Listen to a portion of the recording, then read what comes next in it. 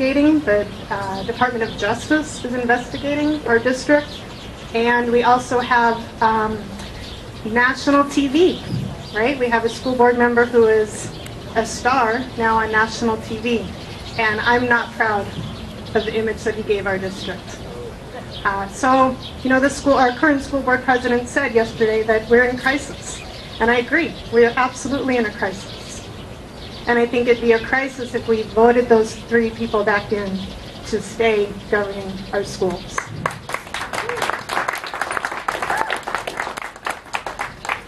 And so why on earth would I run for the school board? right? With all of that, just like what I just described, why on earth would I step up to do this? And a lot of people ask me, and I need to let you know I've thought long and hard about this because it is a very personal decision. It's a big risk, professionally and personally, to take this to become a candidate for the school board. But I've taught in public schools for 20 years. I have my K-5 tattoo. um, I've just spent three years at the university preparing new teachers to teach in our schools, and I have not given up on public education. I've lived in a nation who has given up on public education, right? And what happens when we give up on public education? Everybody collects every dime and penny and nickel that they have to send their child to the public sector, the private sector, to get educated. And the lowest of the lowest economic level, public education is for them. And there's not even accountability for that because they don't even, the governments there don't even check that their kids are actually attending those public schools. You guys, those are third world countries, right? And if we don't protect public education, we're not protecting our middle class. And our economic livelihood, our middle class, all of that depends on our public schools and I won't and I haven't given up on those.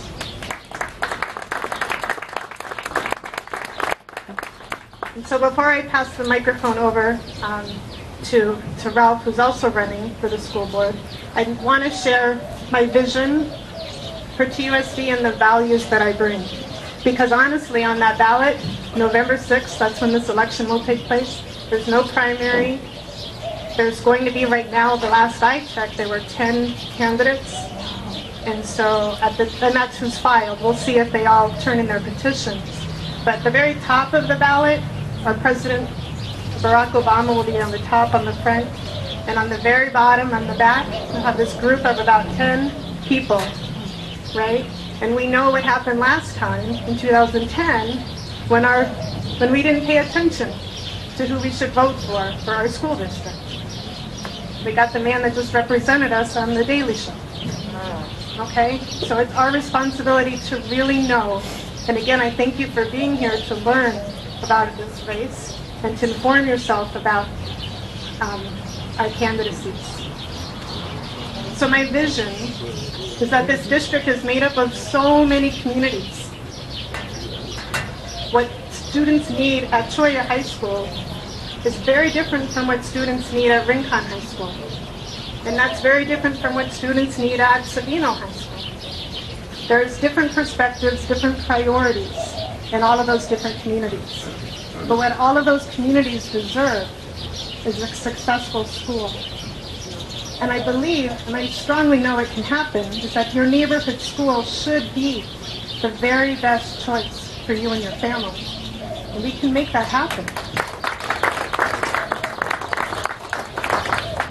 And in every one of those schools, although the priorities will be different in those different communities, and some of the perspectives within this diverse community that we live in, what every school deserves is the innovation and the tools and the skills for the 21st century, right?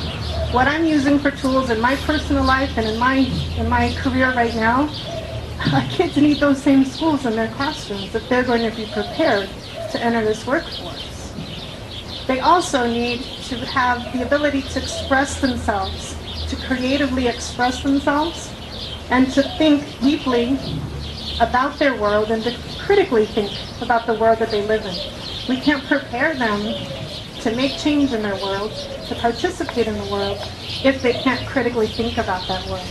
So that resonates and that should exist in every one of those schools. And I know it can. We can make that happen.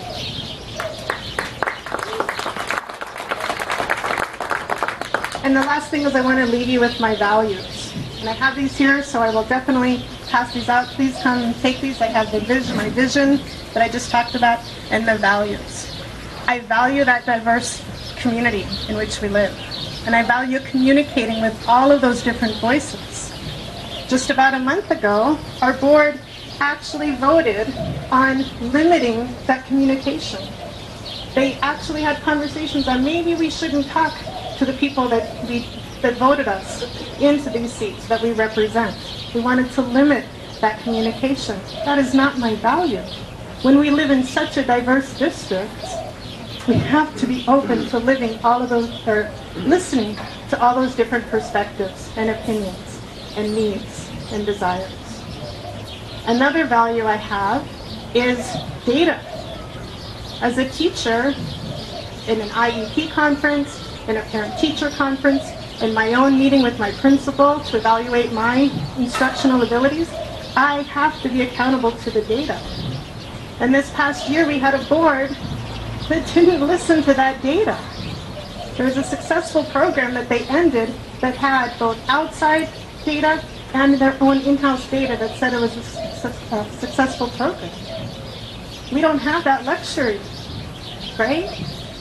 And they ended a successful program, and honestly, I don't think we had an issue with that program until politicians from Phoenix needed that program for their own political campaigns, right? We've heard about this manufactured crisis. That's a buzzword out there now.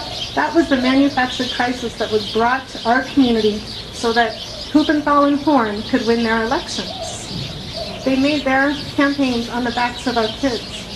And by giving up that right to decide on what we do with our students in our schools, this board gave up their responsibility and their right to make those decisions here in Tucson.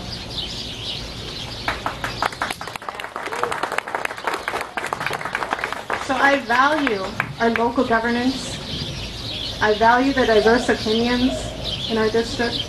I value the data that we use to make those, those decisions. We have these decisions every two years. Think about what's happened to our district in the last two years. Think about how we've really gone down, how far we've fallen. We're in the national spotlight for nothing that any of us want to be in the national spotlight for. We cannot afford to keep the same leadership on that board. And I hope I have your vote November 6th. Again, my name is Kristel Ann Foster, and I'm running for two TUSD School Board.